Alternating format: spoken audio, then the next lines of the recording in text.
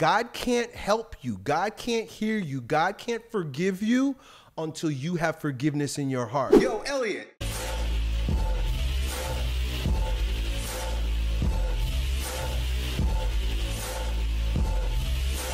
Yo, Elliott, I have a question for you and I would like some clarity on it. In one of your recent videos I watched on YouTube, you talked about atonement to the Father, the physical Father. My relationship with God is getting better. I pray on a regular basis, but my relationship with my biological father is not great at all. Does atonement to the Father have something to do with me forgiving my biological father? So this is a biblical concept, and there's a there's a there's a passage in the gospel where Christ says that before you come to the temple, if you have anything against your brother, go and resolve it. And what he's referring to is the fact that if you have any animosity, you have any anger, you have any emotional hangups with any people in your life, and you want to come to the temple and, uh, and, and give a sacrifice to God, right? That's what he's talking about. Before you come to the temple in order to commune with the Father, with God the Father, and, and, and through the sacrifice, he says, don't do it. Don't come to me. Don't come to the Father. Do not come to God if you have anything on anybody. That means God can't help you. God can't hear you. God can't forgive you until you have forgiveness in your heart. That is the essence of the gospel. In many in many regards, is forgiveness. Forgiveness. Our Father who art in heaven, hallowed be thy name. Thy kingdom come, thy will be done on earth as it is in heaven. Give us this day our daily bread and forgive us our trespasses, as we forgive those who trespass against us. And lead us not into temptation, but deliver us from evil. Amen. That tempt that that forgive us as we forgive others is a key part of Christ's mission. We can't walk around with grudges and then try to sweeten ourselves up to God. So, whether it be your father or anyone, but mainly the father, I'm going to tell you why in a moment, but you got to let that shit go. You can't remember a moment ago I was talking about the state of our souls upon death? If you have grudges in your soul, in your mind, in your emotion when you die, that goes with you to hell. You're going to carry that into eternity. We have to become free, like I said before, light, right? When I use the word light, I'm not talking about the new age idea of I don't know what the fuck they're thinking. Light, right? Like like like the light that turns on the light, like you flip the light switch. That when I talk about light, I'm not talking about that because that's too much of a foreign concept. Nobody is light. Don't let them fool you. You know what you do? You become light, right? Light, like not so heavy not so dense, right? Spirit is light, not light bright, but light as in not heavy. So you have to unburden yourself if you're going to atone with the Father, with God the Father. You can't come to God with burdens and expect Him to to to uh, to be able to, to, see that word atone. Let me let me even use break this word down atone so you could better understand what I'm saying.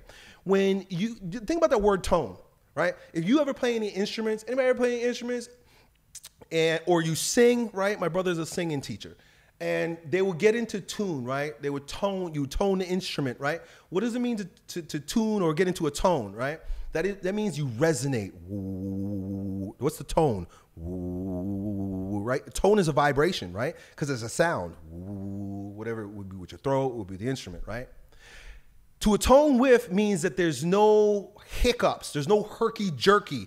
There's just a very smooth, no hiccups, just right. So you're vibrating equally. You're vibrating equally. You're vibrating equally with God.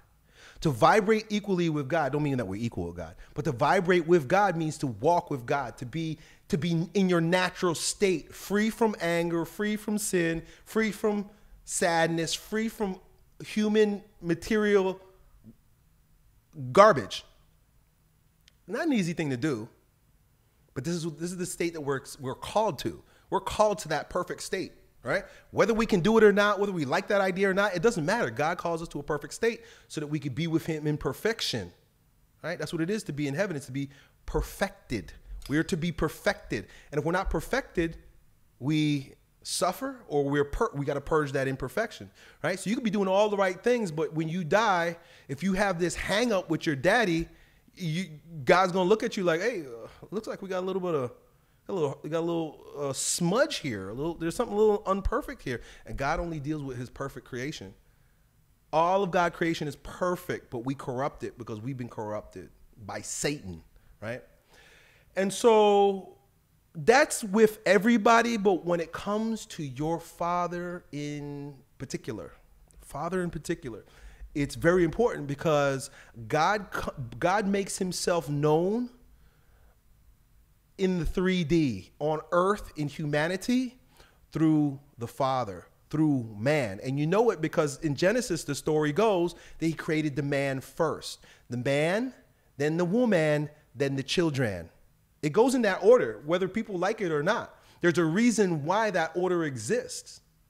The order exists so that because love flows down. Love flows down from the Father, God the Father, into Adam or the new Adam, which is Christ, and then into the rest of us as men, then into women, and then into the children. And respect moves up. Respect from the children, respect from the wife, respect from the man to Christ, and, and of course, uh, the Father is in Christ.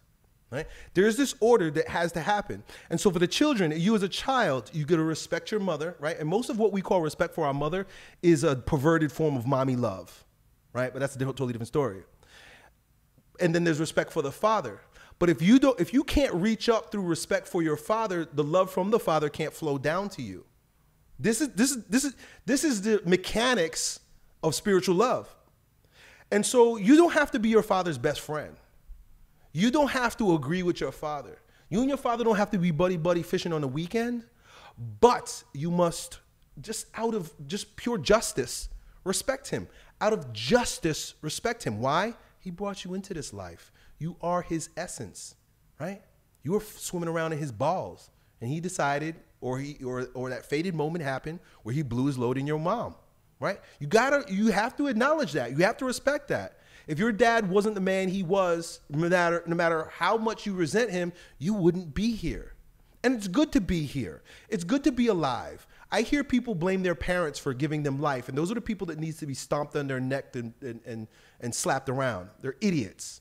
You, every soul wants to incarnate on this planet. We all want this opportunity to be people all the angels in heaven are watching us and saying, Man, I wish I was down there because they know better than us. They'd be like, Wow, I wish I was down there so I could beat that temptation, so I can grow stronger in my soul, so I could overcome that beta blue pill baby boy bullshit mindset.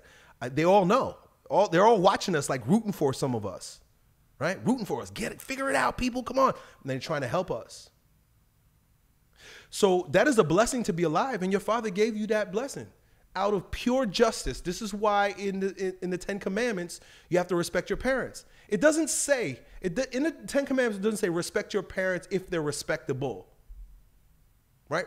It says honor thy mother and father so that you could live a long life, live a long healthy life. In fact, it's the only commandment in in the Ten Commandments that has a promise attached to it that if you if you honor your mother and father, you will live a long, healthy, happy life. Something to that to degree, right? I'm not a Bible scholar. I know you're gonna get some people that are like, don't exactly say those words. Well, based on what translation? It says something to that essence. And so, you, my opinion, and this is, I got to be completely transparent. A lot of this I learned by watching Jesse Lee Peterson and speaking with Jesse Lee Peterson. Jesse Lee Peterson is such a based red pill gangster of an old man uh, that I just spent hours and hours watching his videos, and he's got me convinced, and I do now believe, and it is Bible, uh, biblical and it's true that if we are going to get through as men, if we're going to be strong men again, if we're going to be the leaders, we're going to be the authorities, we're going to be the men that we're meant to be, we have to patch up shit with our dads. We have to. Like I said, you don't have to be best friends with them, but you got to respect them, right? Meaning, like, I understand that you're my father and I, I appreciate the fact that you helped bring me into this world. I don't agree with you, but I will not disrespect you.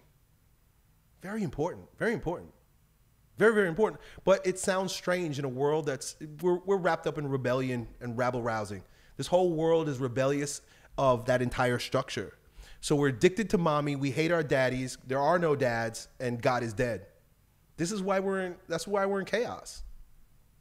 If we're to, you know, I said it earlier today that you know, I walk around saying that make men strong again is my is my mission, but it's only in service of one thing, to make families strong again.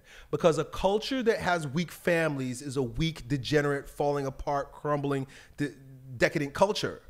We're struggling as a culture because families suck. Families don't work. And the reason why families don't work is because men are weak. Whatever happened with your father, he succumbed to his weakness, right? Either he couldn't handle your mother or he still had uh, infantile beta ways and attachments to his mother, right? Men are men are weak because we've given our power over to women. And women are inferior men trying to walk around leading us. It's a, it's a weird, screwed up time to be alive. But it's a great time because the cream will rise. And I think that's you too. I think you're going to rise. I think you figure it out. I think it's to work out great for you, bro.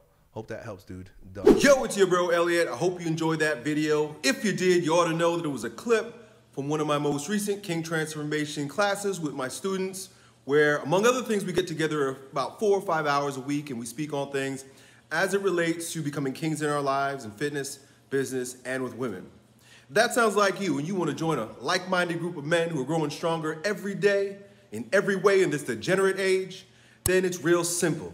Just follow me on Instagram and then DM me the word King, K I N G, and then me and my team will get back to the details to see if you qualify. I really hope to see you at the next meeting. Done.